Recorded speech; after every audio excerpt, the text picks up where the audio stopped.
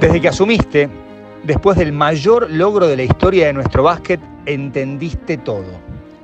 Supiste adaptarte, supiste convencer, supiste cautivar, supiste liderar, supiste transformar. Y supiste marcar un camino, fiel a tus convicciones, porque entendiste cuándo apretar y cuándo aflojar, cuándo ser maestro sin perder exigencia Supiste ganar y supiste perder.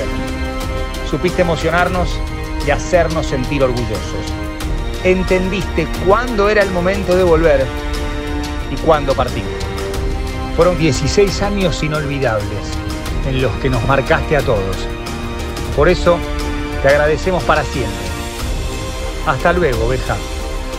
Gracias por todo.